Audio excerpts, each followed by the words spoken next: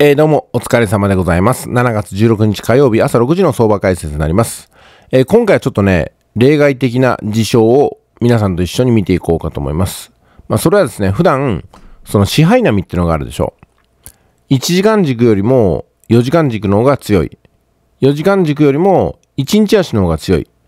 つまり、1時間軸で下落に向かっているようでも、4時間軸が上昇しているなら、いずれ4時間軸に引っ張られて1時間軸はそのように動いていくよってことなんですけども、今回はそれとはね、逆で、小さな時間軸が徐々に大きな時間軸に変化を与えていくっていう風な、あまりないようなね、タイミングを皆さんと一緒に考えていこうと思います。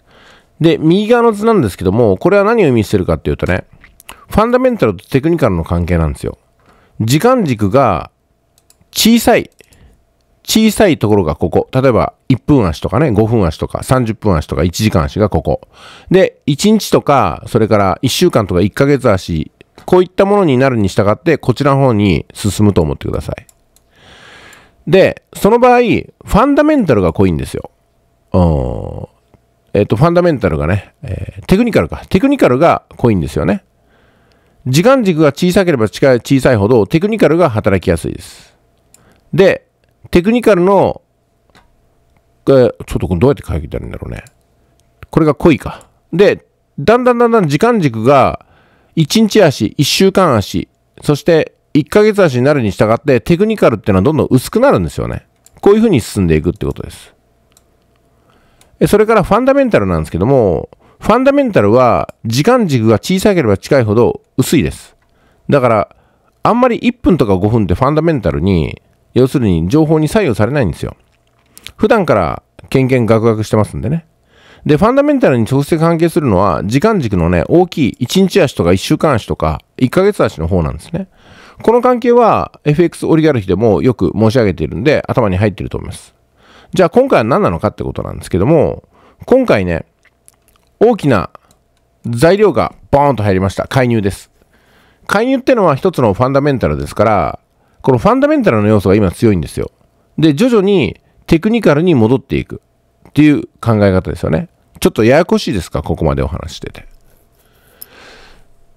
で、もうちょっとね、えー、わかりやすく言うとね、この、今、小さな時間軸から徐々にテクニカルに戻ろうとしてるんですよ。テクニカル的には、これ今ね、ドル高の方向に向かう。つまり、テクニカル的にもね、圧倒的に右肩上がりなんですよ。で、ファンダメンタルを考えたときに、今回の介入以外に、円高に、下の方向に向かう要素はないんですよね。だから、強制的に円高要素をぶち込んだわけですよ。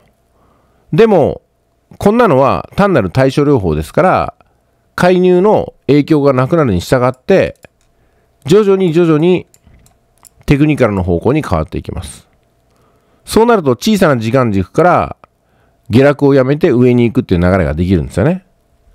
で、今、この冷やしをご覧いただいてますけども、冷やしも全体的にテクニカル的には上なんですよね。ただ、小さく見れば見るほど、下落が起きてるわけですから、強制的な下落が。だからこのまま下に行くっていうふうにテクニカルでは判断できちゃうんですよ。でもそうじゃないと。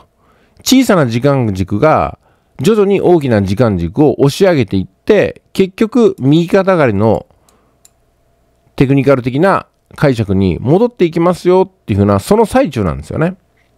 まあ、ですんで、今、冷やしを見ていただいてますけども、瞬間的にドーンと下に下がりましたけども、これが徐々に手当てされていって、下に行くエネルギーがなくなり、徐々に上の方に向かっていくというところを今日はお話ししようかなと思います。はい。今、言い切りましたよ。で、今週中に、ですから159円の方向に軌道修正されていくでしょうということですね。じゃあ4時間見ていきます。4時間も下落がだんだん止まってきました。一旦強制的にこちら。で、反動で上に上がってくるときにもう一回なんかでぶち込まれて下の方に行きました。でも下に行く勢いはこの辺りでもかき消されてですね、もう使い果たしたわけですよ。あとは元々残っていた上昇のエネルギーが徐々に開花していくのを見ていくだけってことになります。じゃあ1時間の方行きましょう。1時間軸で、これテクニカル的に判断したら、安値圏でしょ？ディセンディングトライアングルでしょ？さらに下に行くんですかってことになります。テクニカル的に見るとね。ただ、これは強制的に起きたファンダメンタルなんで、今回はさすがにこれがね、テクニカルにすぐに作用するかってしないんですよ。となると、もともとの動き、介入がなければずっと円安が進むわけだったでしょ？こちらの方に戻っていくところを今見ているってとこです。ですんで、移動平均線を渡り切って、その上にローソク足が出た時っていうのが、あ、変わり目が起きたなっていうとこですね。それを今ね、見ようとしてるとこなんですよ。ですんで、リスクの取れる方はもうね、いつ倍に入ってもらってもいいです。特に158円。これを超えたら倍で入りましょうってことも申し上げていましたんでね。もうポジション持ってもいいと思いますよ。でもリスクが負えない方とか資金力の少ない方に、えー、なるに従って、この3本の移動平均線の上にローソク足が乗っかるのを待って、そこからエントリーしましょうって話になってきます。